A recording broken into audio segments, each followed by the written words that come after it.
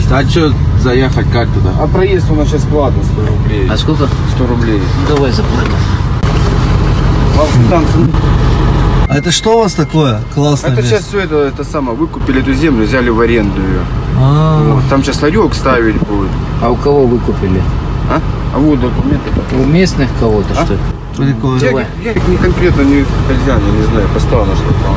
Если какие А что там за услуги какие-то предоставляются или просто заехать Нет, сейчас на данный момент нет, сейчас там облагораживают, Мгм. расчистить. всё, А там площадка есть, да, Да, площадка есть, ларек только ставит, мороженое сейчас торговал, соки такое. Это буквально 3-4 дня. Видимо, за возможность покупать мороженое и соки в этом ларьке и придется теперь платить инопчанам и гостям курорта. Предприниматели обещают здесь каким-то образом благоустроить территорию. Однако вопрос зачем? Ведь это место и привлекательно своей первозданностью. В ходе разбирательства было установлено, что данная земля находится в собственности у некой Аси Михайловны Аракелян, а оплату за проезд собирает субарендатор Гай Карленович Соколенко. Насколько правомерно вести здесь коммерческую деятельность – вопрос открытый, так как этот участок имеет статус сельхозназначения. Все собранные материалы администрация направила в правоохранительные органы Росреестра и Росприроднадзор для принятия конкретных жестких мер. Мы будем следить за развитием событий.